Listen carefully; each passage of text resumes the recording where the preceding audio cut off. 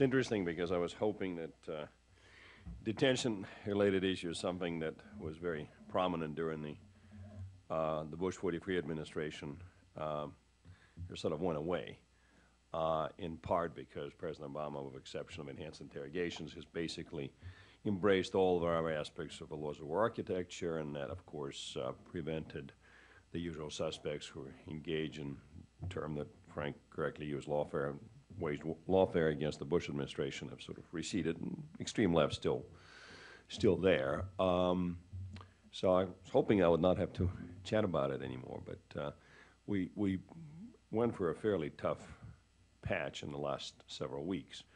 And I'm sorry to say, you know, apropos of, of, of, bad developments in the conservative community, we have uh, folks who've unfortunately come out in the wrong way of this issue. To explain, um, there's something called NDAA. Well, Capitol Hill folks understand authorization process better than I do, but the idea was that um, sort of a legal basis for uh, the exercise of war powers, of course, can be traced to Article 2 in the President's authority as Commander-in-Chief, but it's always great when the political branches speak in unison. So as all of you know, we had something called Authorization to Use Military Force that was enacted by Congress within several days of 9-11.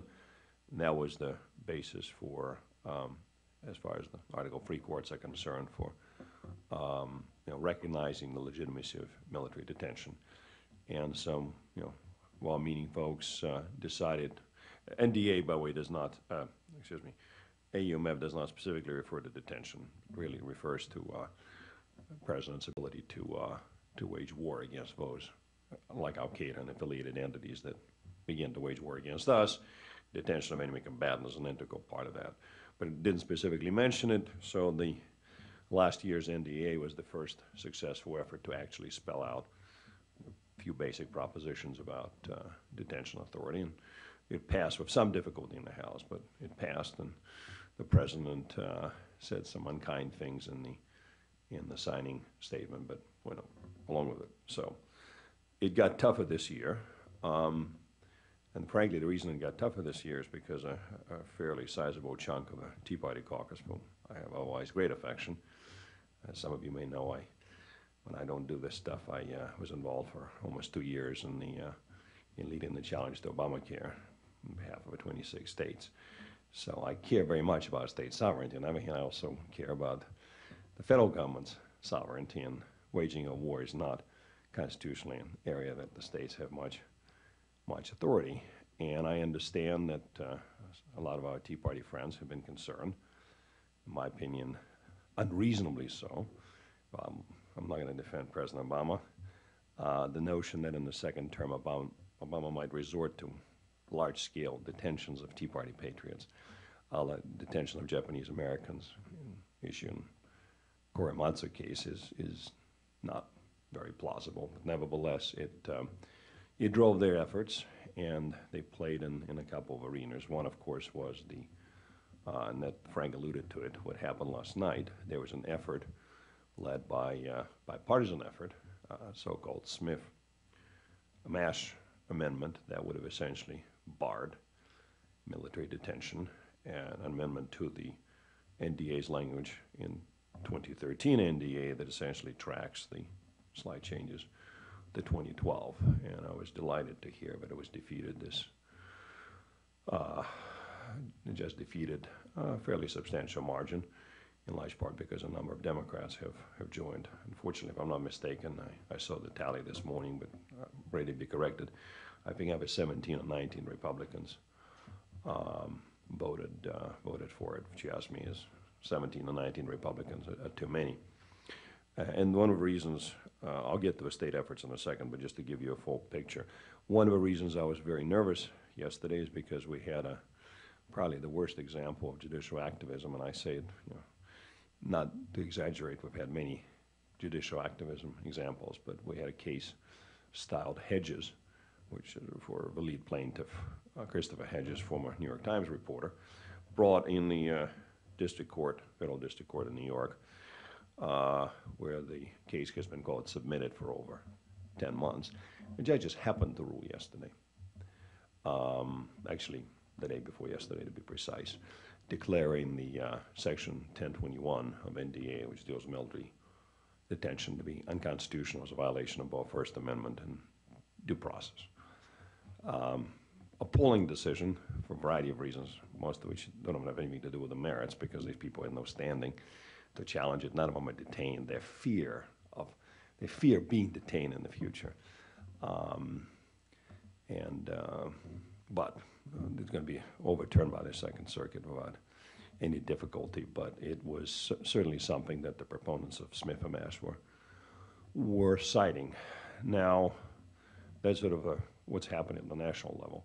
Unfortunately, what's happening at the state level is, is also troubling because consistent uh, with the attacks by, uh, I don't want to say all Tea Party members are doing, but a fairly large chunk of a Tea Party, uh, in addition to try to change the law at the federal level, um, pushed the states to, uh, to enact statutes. And the lead one is Virginia, which actually did pass, called HB 1160. That would bar, I mean, again, a couple of paragraphs of badly drafted statutory language, but the basic idea is to uh, prevent the use of state resources, including law enforcement uh, and uh, Virginia National Guard, from assisting and aiding the federal government in any military detention of U.S. citizens.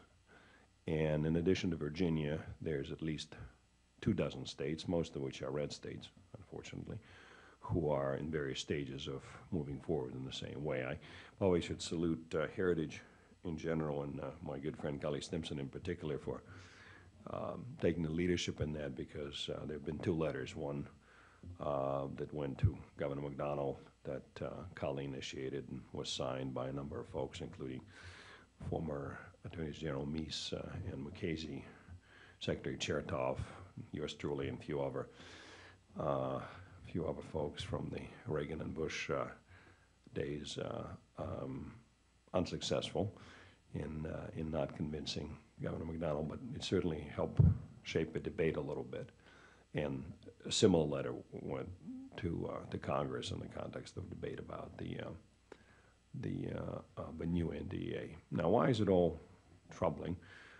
Uh, I mean, a lot of folks point out that, you know, you can have rid- ridiculous situations where if you're a poor Virginia state trooper and you stop, uh, you know, somebody like Al-Awlaki and you happen to know a person is a U.S. citizen, you happen to know he's a member of Al-Qaeda, broken no state law, and uh, you happen to believe that he would be subject to military detention, um, technically speaking, you should let him go. But, you know, and, you know, more plausible scenario is the, your uh, federalized Virginia guardsmen who are sort of working in the intelligence fusion and integration center. And you think that you're processing raw data, and you think again, here's somebody like you, who is, of course, is dead as an example, uh, because he was a U.S. citizen. Uh, you, you believe that information you're processing would not lead to a drone strike on such person, but maybe a snatch team. Not very likely, since this administration certainly is not interested in taking anybody prisoner, but let's say the next one hopefully would take a different view. Um, you are not supposed to do that.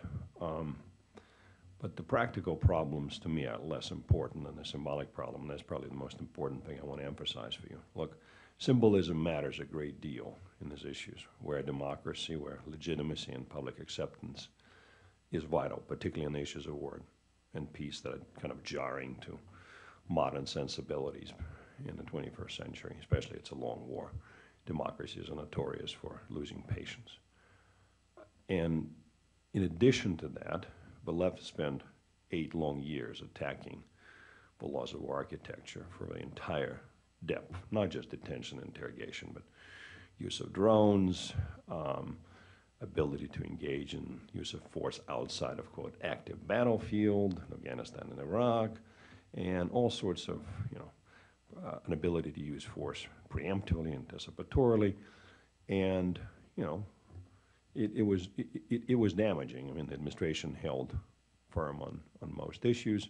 No bad legislation passed, lots of hearings, but it did, in that symbolic sphere, legitim, legitimating sphere, it did some damage. And probably the only good thing from my perspective about the Obama administration is, as I said earlier, they retained, except for the enhanced interrogation that they took off the table, any kind of interrogation, they retained everything else. And I was rejoicing a little bit because it provided at least put back some of that bipartisan patina.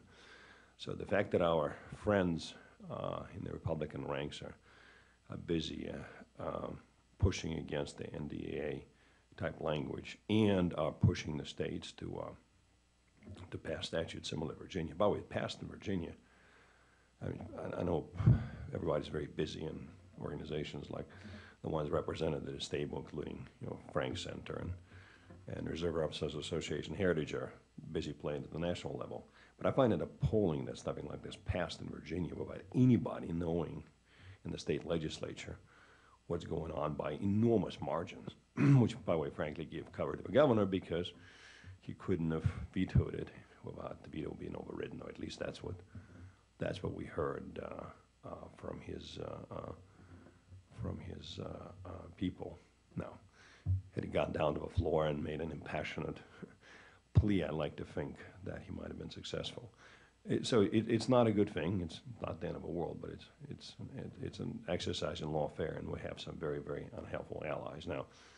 Um, you know, I could tell you why it's not only troubling from that perspective, why Virginia legislation is also legally very bad, because for one thing, Virginia and other states have gotten billions of dollars since 9/11 from the federal government to beef up their intelligence and law enforcement entities. And one of the conditions the Department of Homeland Security imposes in receipt of federal funds is you know, fulsome cooperation on uh, on Homeland Security matters. And if you're not going to have your people, you know, transfer your Oliver like your, you know, Osama bin Laden because he happens to be a U.S. citizen, that's not fulsome cooperation. But there's also a constitutional problem, and just like the federal government should not interfere with legitimate exercise of state police power, which was the case with Obamacare and a few other things, the state should not try to pass laws that would impede the ability of a federalized um, state guardsmen who are really part of a chain of command to perform their duties and sort of put them in a position where they uh, caught between and